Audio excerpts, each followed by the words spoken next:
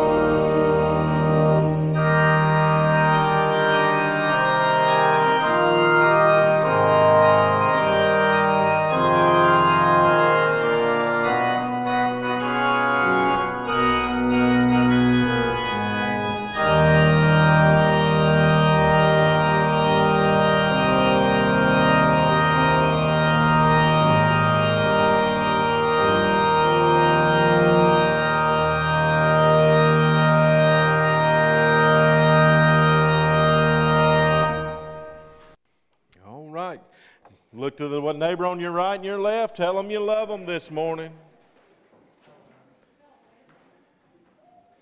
And we've done kind of went through the welcome this morning. As far as announcements goes, the one thing I will make mention of this morning is June the 2nd. June the 2nd is going to be our graduation Sunday, and uh, there will be a uh, cookout afterwards. So uh, after service that day, so be planning on attending that, and we'll have a good time and we can fellowship as long as we want to that day, as long as you're willing to stay here and not go to sleep on me anyway. But we'll have time to fellowship, and uh, that'll be a good day as well. And we'll get to celebrate our graduates that is is coming up. So uh, please remember that. All right, if get a couple of ushers to come, we'll take up our Sunday morning tithes and offerings, and be blessed by the choir.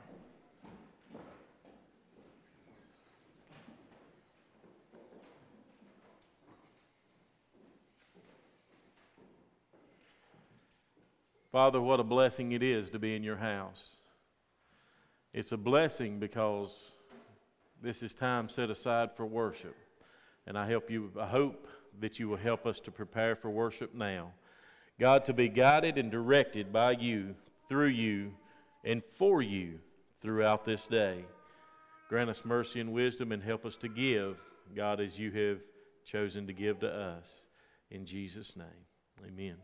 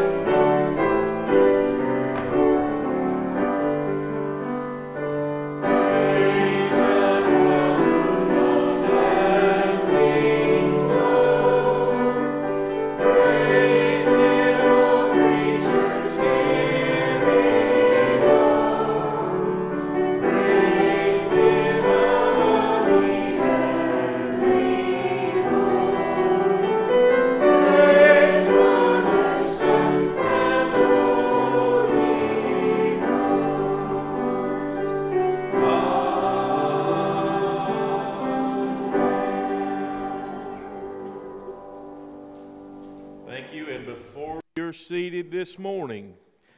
Ladies, if you would come up front, all ladies, all ladies, all the single ladies. No. Sorry, he just went in my head.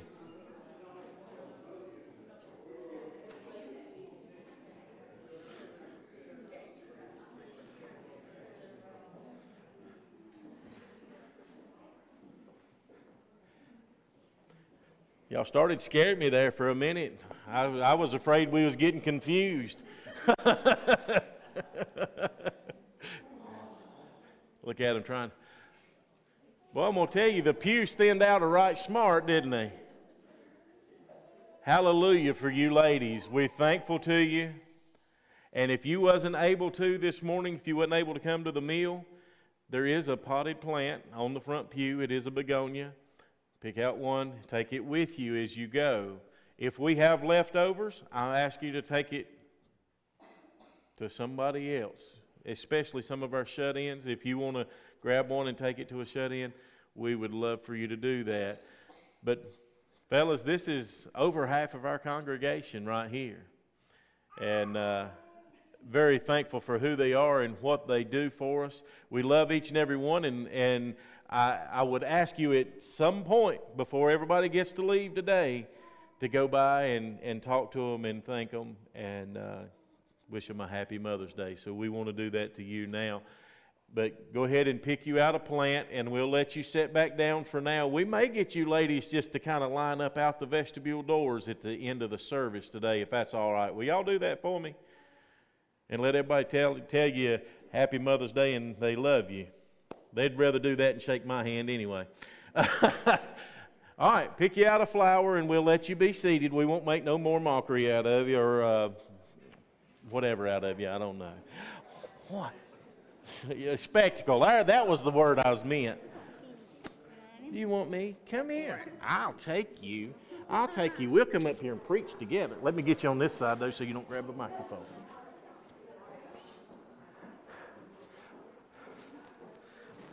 That right. That right. What? No, she's all right. This makes me easier to look at.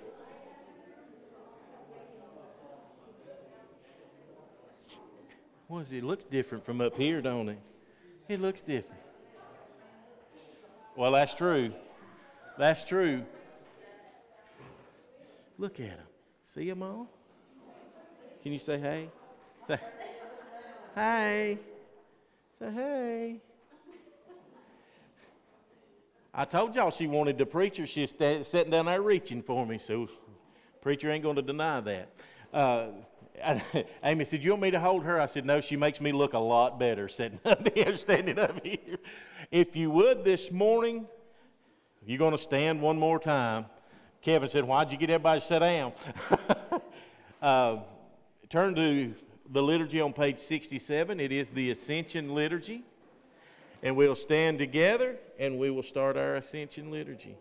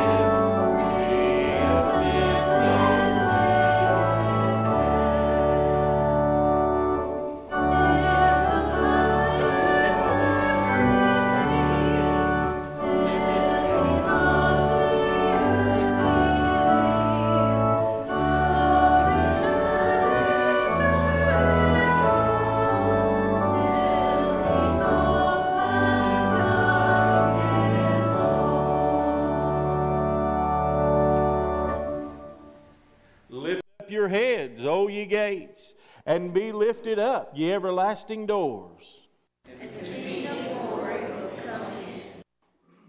Who is this King of glory? Lord strong and mighty, Lord mighty. Lift up your heads, O ye gates. Yea, lift them up, ye everlasting doors. King of glory will come in. Who is this King of glory? The Lord of hosts, he is the King of glory. The Lord has prepared his throne in, heaven, in the heavens. And his kingdom rules over all. The Father of glory has raised Christ from the dead and made him to sit at his right hand in the heavenly places, far above all rule and authority and power and dominion, and every name that is named, not only in this world, but also in that which is to come. And he put all things in subjection under his feet, and made him head over all things for the church, which is his body, the fullness of him who fills all in all. To him be the glory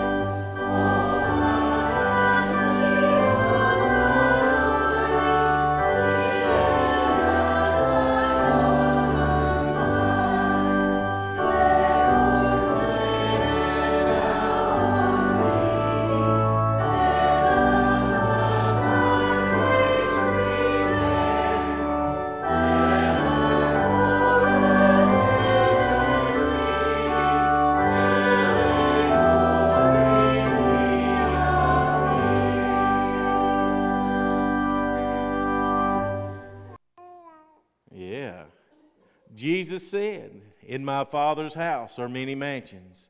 I go to prepare a place for you, and if I go to prepare a place for you, I will come again and receive you unto myself, that where I am, you may be also. I ascend to my Father and your Father, to my God and to your God. If we are risen with Christ, let us seek those things which are above, where Christ is at the right hand of God. Oh, let me start over. Oh, most merciful Savior, as thou wast raised from the dead, as thou didst ascend into heaven, as thou sittest on the throne, as thou makest intercession for us. As angels honor thee in heaven.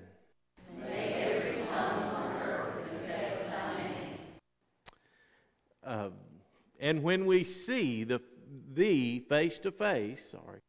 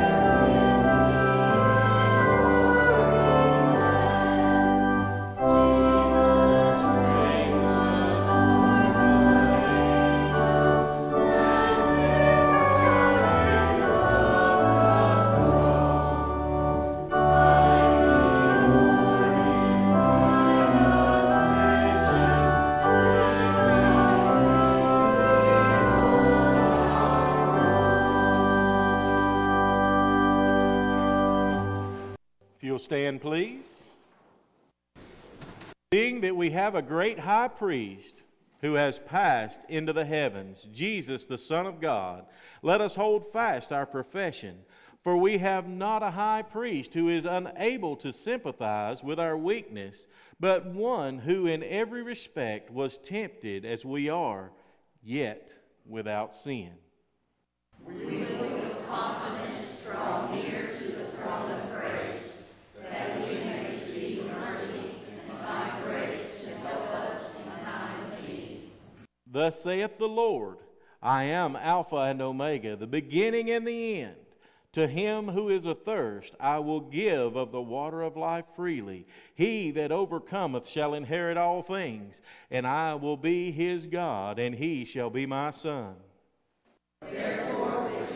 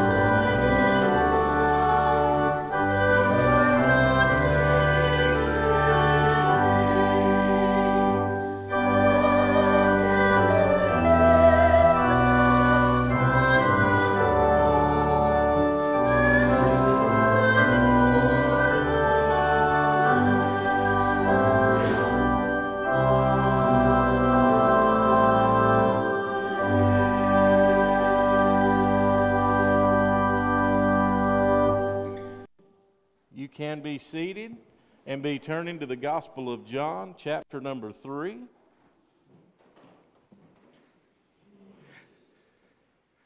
And before she goes out, out, I'm going to take her back to her mom and daddy.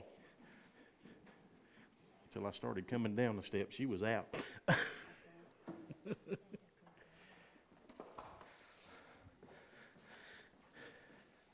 See, I told y'all all she wanted was her preacher from the beginning. And that may be the other way around. I mean, well, you have told me I was the best sleeping pill you've ever had, so it works out well. Uh, with the now, I had her asleep, and y'all got a pincher. Oh, me.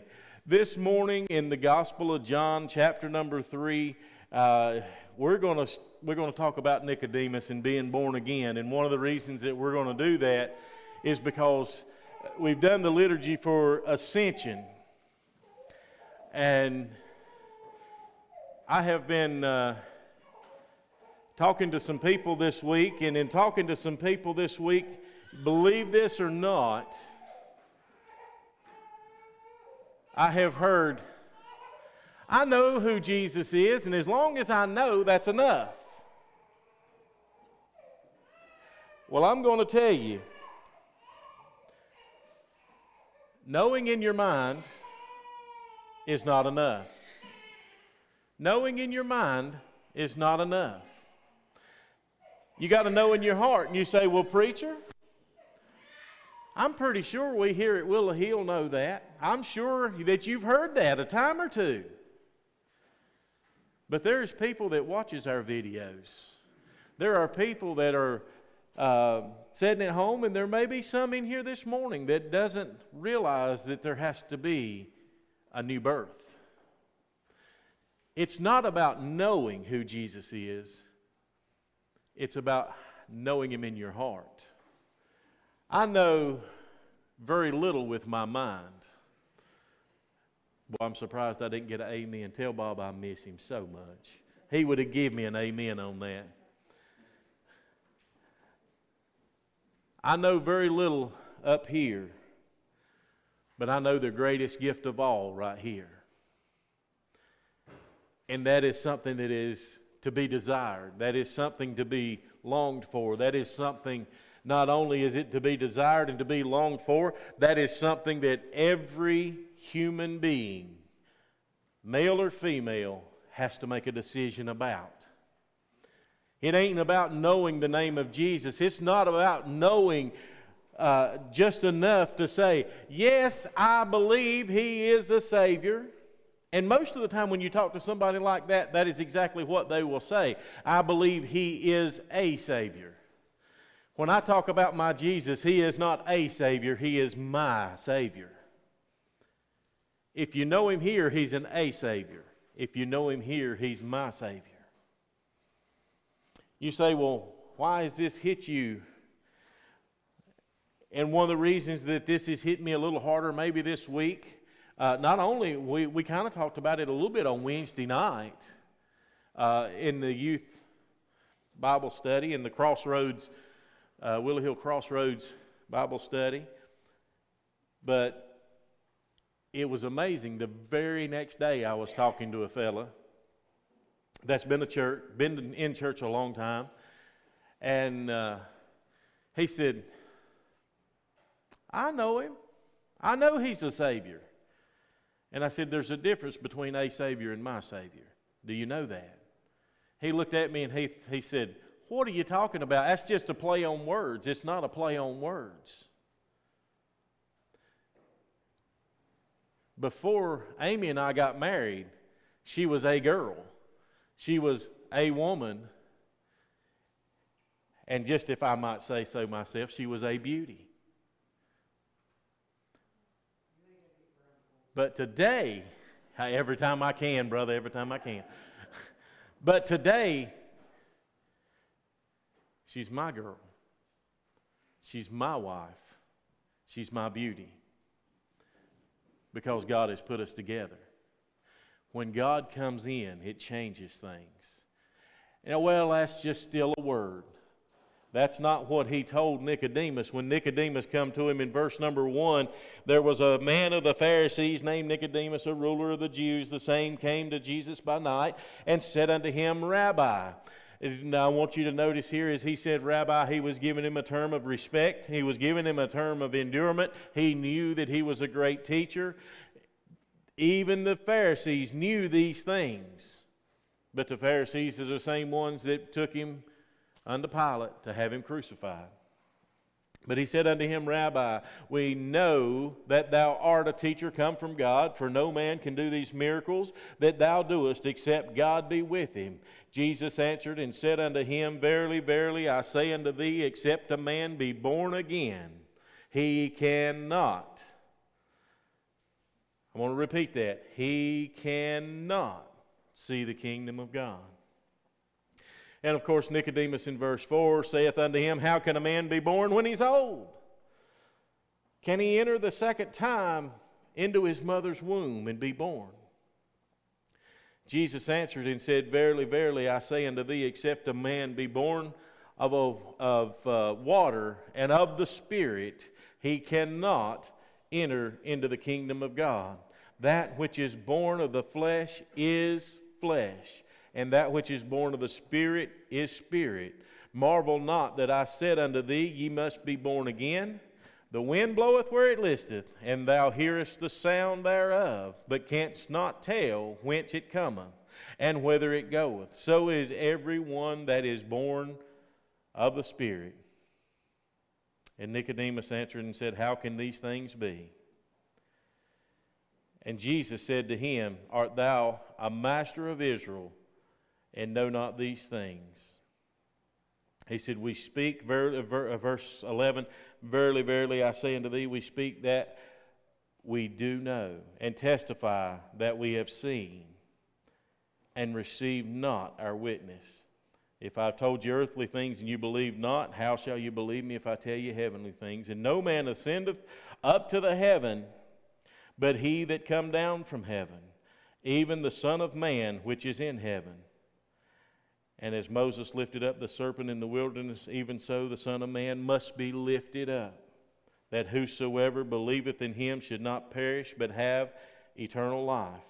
For God so loved the world that he gave his only begotten Son, that whosoever believeth in him should not perish, but have everlasting life. For God sent not his Son into the world to condemn the world, but that the world through him might be saved.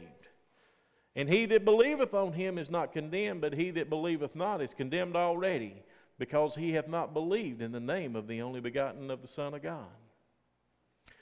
And this is the condemnation that light is come into the world, and men love darkness rather than light, because their deeds were evil.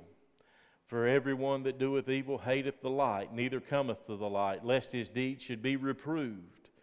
But he that doeth truth cometh to light, that his deeds may be manifest, that they are wrought in God. Let us pray. Father, blessed are we to have your word, to be able to see it, to be able to hear it. And Heavenly Father, God, we need your direction and understanding always. That we not hear with our ears and believe with our mind, but God, that it is embedded in our heart to grow into a relationship with Thee. Preach to us this morning the words we need to hear, the comfort that we need to have, the love we need to show, and the grace. Boy, that grace that we need to give to others. We're thankful for you this morning. And it's through your Son and his blood we pray. Amen. As Nicodemus came, I know I'm not telling you anything that you haven't heard before. I hope that this way we understand it, maybe in a, just a little different light. The fact that when Jesus tells Nicodemus, except a man be born again, in matter of fact, before he made that statement, what did he say? He said, Verily, verily, which means this is very, very important. Why is this so important? I want you to understand this morning that there is no way under the sun, no way under the sun that a man gets to heaven, a woman gets to heaven without Jesus Christ.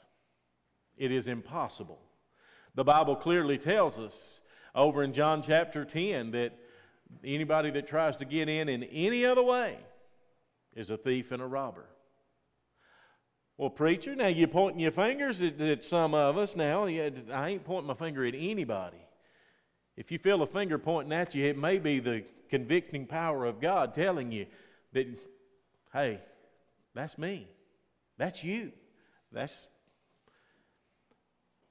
there's no way we can get in except a man be born again. How can a man be born when he's old? He had to explain, explain that to a Pharisee, one of the biblical scholars of the day, the one that everybody went to for religious advice. They went to him not only for religious advice, they went to him for forgiveness. They went to him and told him their deepest, darkest things in their life. And they handed him a, a, dove or a pigeon or a lamb or, or some kind of thing, animal to be slaughtered, to give over and to be sacrificed for the sin that was in their life. But Jesus made that much easier for us, didn't he? When Jesus came and he accepted the cross and he endured the shame with joy, without opening his mouth, there's no more sacrifice for the sin. We had the one perfect lamb that came that was a sacrifice for all. And he said, he says, he tells us, he says, I am the way, the truth, and the life in John 14, 6. No man cometh to the Father but by me.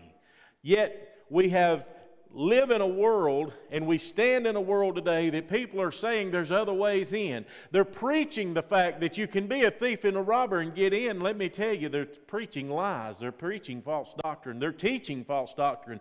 There is no other way to get in. You say, well, preacher, this ain't much of a Mother's Day sermon. Every day's a God day for me, and it is for you too. I know. When I learn how to respect God, I learn how to treat others better. When I learn how to respect Him and respect His Word, I know how to treat other people even better. I'm here to tell you that this morning, when the Bible says, Verily, verily, I say unto thee, except a man be born of water and of the Spirit, he cannot enter into the kingdom of God. That is exactly what Jesus said, so that's exactly what he means. And do you remember when they pierced his side while he was on the cross? What happened? Water and blood come out. Through the water and the blood of Jesus Christ, we have cleansing for the redemption of sin. We're cleansed by His righteousness.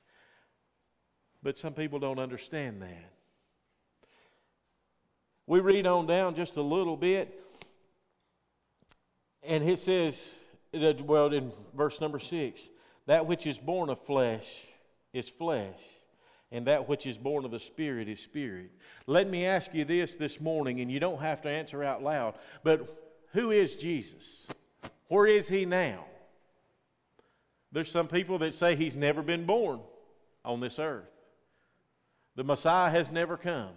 There's some people that say that. There's some people said that Jesus came and he lived on the earth and he was a good man, but he missed his calling. There is some that says that Jesus came to the earth. He was the sacrifice for all mankind. He was the lamb that was slain.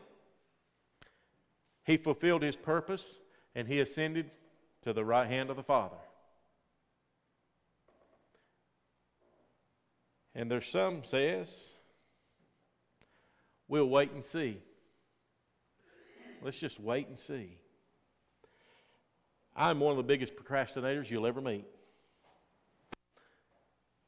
But the wait and see game on this was not didn't work for me.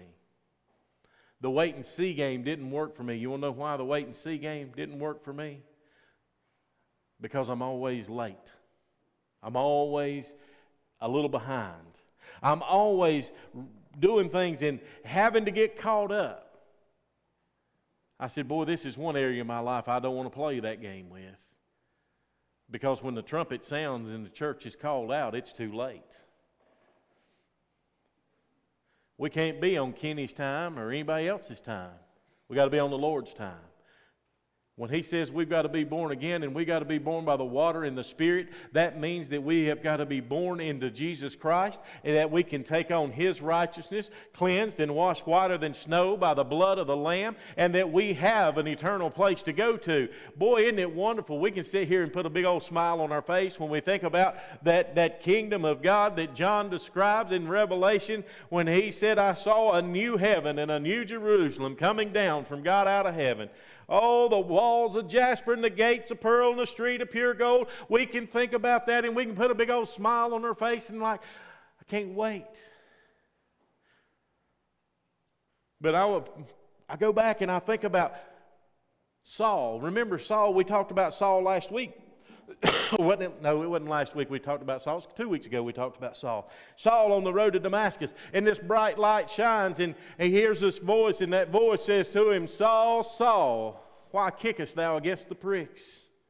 He didn't see nobody, but the glory of God shined so bright that the men was with him. They dropped to the ground. They couldn't stand to look upon the light.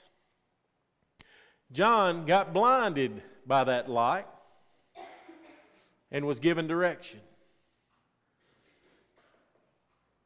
How wonderful. How wonderful would that be? We have to be born again. We have to be born by water in the Spirit. The question that I asked while ago where is Jesus now? He has ascended to the right hand of the Father. But do you think that he is in his fleshly form or in his spiritual form? I happen to believe he is in his, excuse me, spiritual form. And it's only by His Spirit that we can live in this life. This flesh tears us down. This flesh wants things of the world. This flesh wants the satisfaction that the world has to offer. We don't need the satisfaction of this world. We need the satisfaction in the, the, the care of the spiritual side of things. Yes, there are times that we do need the fleshly healing, and we can pray for those things. But we got to remember we got to be born of the flesh uh, sorry, born of the water and the Spirit, not of the flesh. Which means that flesh has to die, which means we have got to lay down this life, which means we've got to take up our cross daily and what? Deny ourselves. Myself, myself is lazy. My flesh is lazy. My flesh, my flesh says, lay in the bed all day and do nothing. My flesh says, do this and you'll feel better. My flesh says, go enjoy some of this. It won't matter, ain't nobody looking. My flesh tempts me all the time. And you know who else is the tempter? Who is the master of that? That is Satan himself, right? Satan tempts us sore. He tempts us to do wrong things. The flesh says, Ooh, boy, that sounds like fun. Let's go do that. But I'm so glad that the Spirit, once we are born again, God said, or Jesus said, He would send a comforter to us, and that comforter is truth that lives inside of us. When the Holy Ghost fills us up, the Holy Ghost goes against the, the flesh and says, You know you don't need that. You know you can't handle that.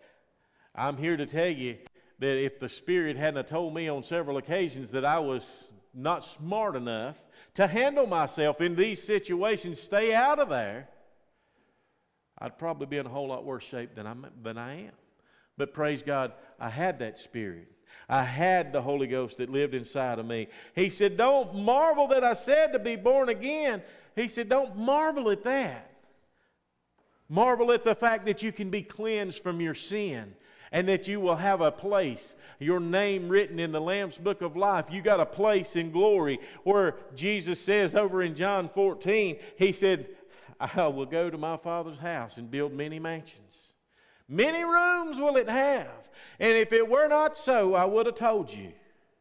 And if I go to prepare a place, I will come again and receive you unto myself. That's the Jesus that we love, right?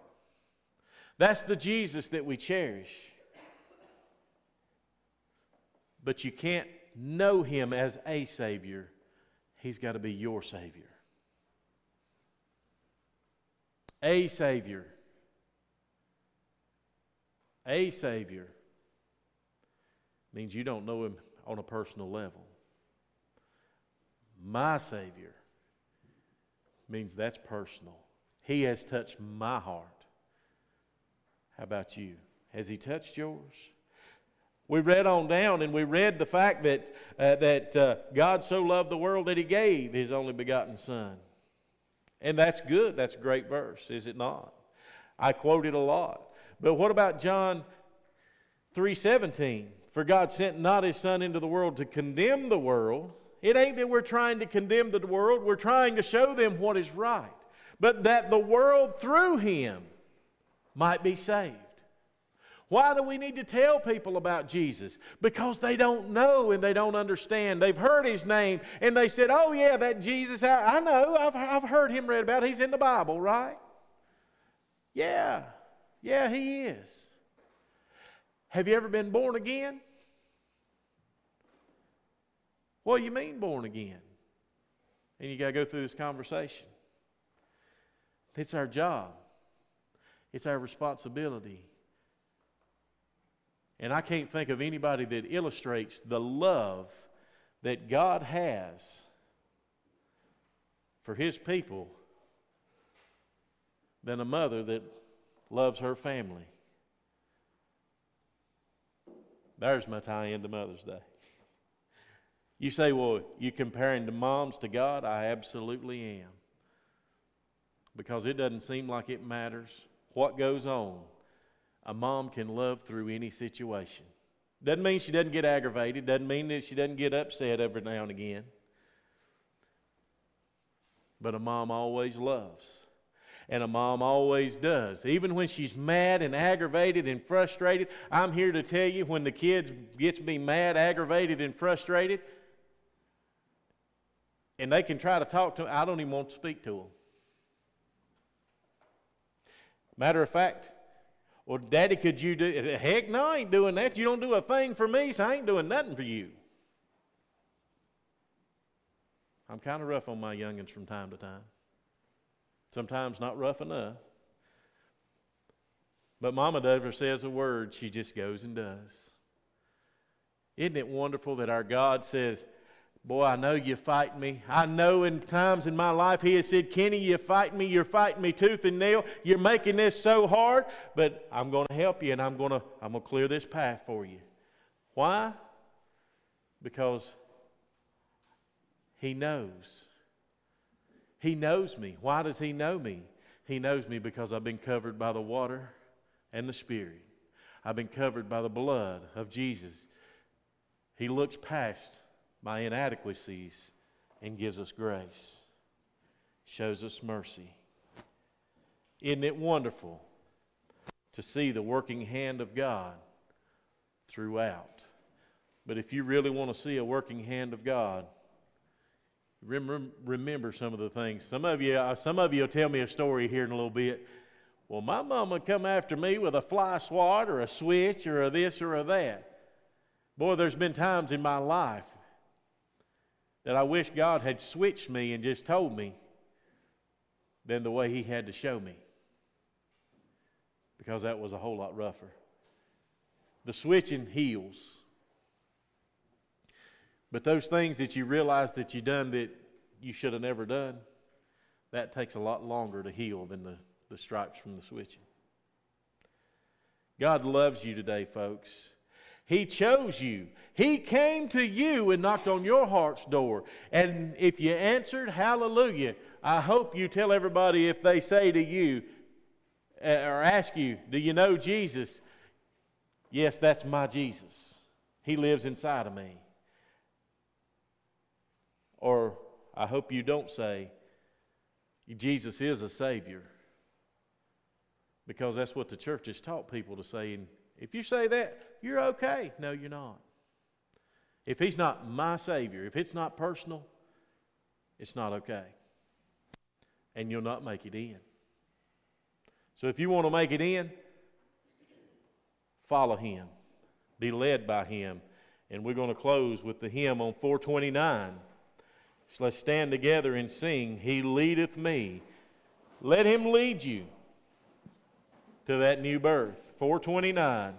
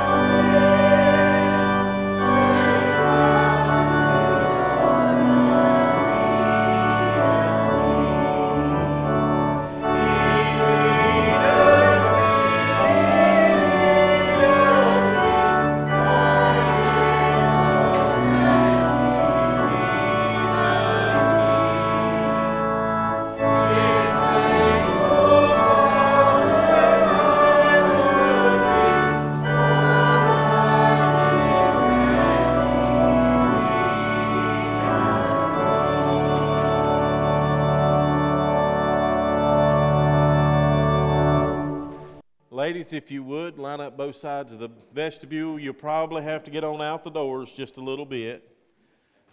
Yes, sir.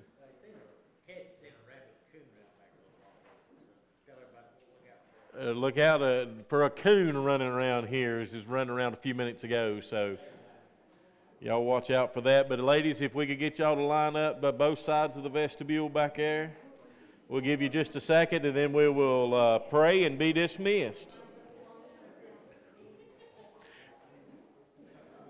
You don't have to carry. You can come back in and get your flower.